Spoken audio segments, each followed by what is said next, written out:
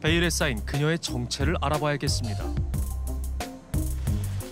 수빈 씨 부모님이 살고 있는 아파트를 찾았는데요.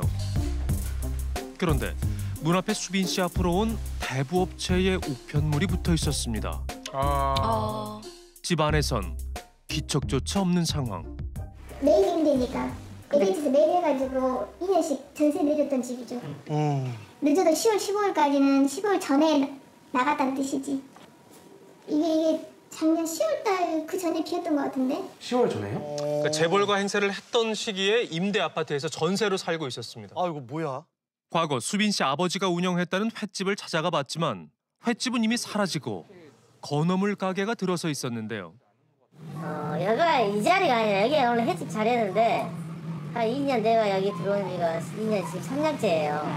호랑 이렇게 계속 했는데 썰고 뭐 이제 하다가 안 해버리고 장사가 안 쓰러져 버리고 그대로 안 했을 거예요. 여기 하시다가 그 쓰러진 지가 한 10년 됐을 거예요. 아 그렇게 돈 많이 못 벌어요. 지금 하오자가 얼마나 힘든지 알아? 사장님 혹시 외제차예요? 차는? 이리 타요? 똥차대. 황당해 하는데요. 홍어잡이 해서 그 정도의 재산이 있다는 건 말이 안 맞는데. 아하. 1천억 되면 그래도 그 정도 재산은 거의 나죠. 아니 서울도 아니고 지방에서는 몇 천억대 자산가는 모를 수 없죠. 맞아요.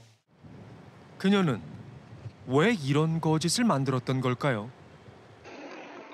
여기 저는 다 아버지, 어머니, 친오빠, 작은오빠 저는 다 알고 있거든요. 그 아버지가 건강하실 때 일하다가 이제 그 뇌경색으로 쓰러지셔가지고 그러다 보니까 이제 대출에다가 이제 손을 대기 시작했어요. 어. 지 누워있는 아버지를 또 어떻게 해갖고 아버지 명의로 대출을 3천을 땡긴다고 저한테 전화를 대신 받으라 그랬다니까요.